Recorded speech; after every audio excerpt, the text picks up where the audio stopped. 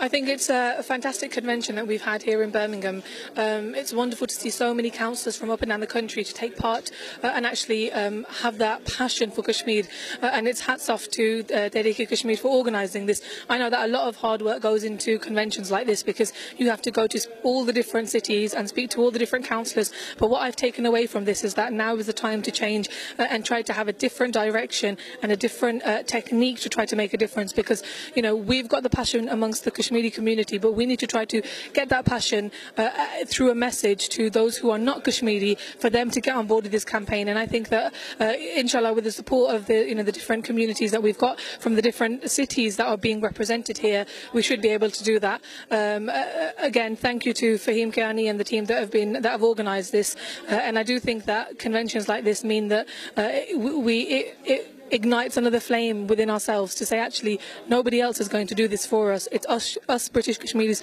who are living here that are going to, you know take this as an issue uh, and it's it now is the time to act because it's time for action